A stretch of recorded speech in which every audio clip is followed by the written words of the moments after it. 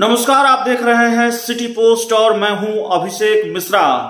बिहार में बेगूसराय कांड, बेगूसराय का बहुचर्चित गोली कांड अपराधी पुलिस के गिरफ्त में हैं, आरोपी पुलिस की गिरफ्त में हैं।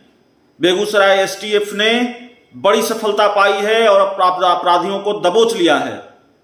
लेकिन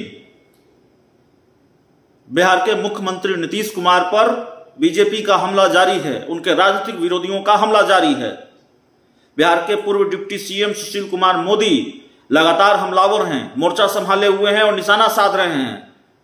लेकिन मामला यह भी है कि एक और प्रकरण सामने आ गया है और जिसकी वजह से सुशील मोदी को मौका मिला है बिहार के मुख्यमंत्री नीतीश कुमार पर निशाना साधने का।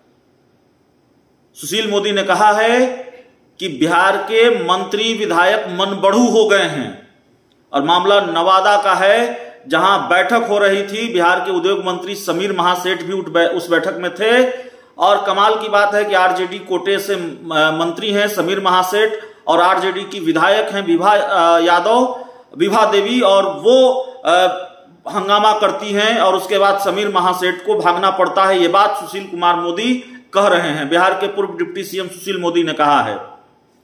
सुशील मोदी का पूरा बयान हम आपको सुनाते हैं। और इससे ये समझिए कि नवादा में जिस तरह से आरजेडी की विधायक ने बैठक में हंगामा किया कथित तौर पर, और समीर महासेठ को वहाँ से जाना पड़ा, बिहार के उद्योग मंत्री को जाना पड़ा, उस मामले ने भी कितना तूल पकड़ लिया है, भारतीय जनता पार्टी को कैसे मौका मिला है, इस पूरे मामले को लेकर महागठबंधन की सरकार पर हमला बोलने का, सीएम नीतीश कुमार पर निशाना साधने का।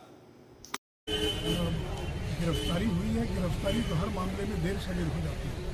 लेकिन सवाल ये कि जिस तरह की घटना घटी है उससे लोग दहशत में लोग डरे हुए और अब इनकी सरकार के जो विधायक और मंत्री हैं, वो मन मनबड़ू होते जा रहे हैं। कल नवादा के अंदर राजवल्लभ यादव जो एक बलात्कार के मामले में सजा उनकी पत्नी विधा यादव, वो नवादा के अंदर जो मीटिंग हो रही थी, मीटिंग में घुस जाती है और अब शब्दों का प्रयोग करती है, हंगामा करती है। और समीर महासेठ को वहाँ से भागना पड़ता है। लिटरली उनको वहाँ से भागना पड़ता है, मीटिंग